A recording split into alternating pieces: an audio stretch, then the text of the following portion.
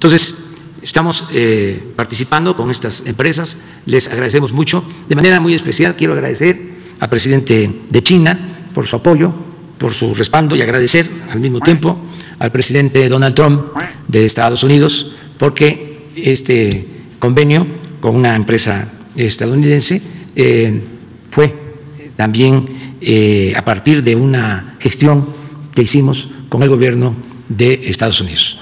Todo para tener a tiempo eh, la vacuna. lo que quisiéramos es que a partir de diciembre, a más tardar el primer trimestre, ya empecemos a vacunar, primer trimestre del año próximo, y que como lo presentó el secretario de Hacienda, se siga un calendario para proteger a la población.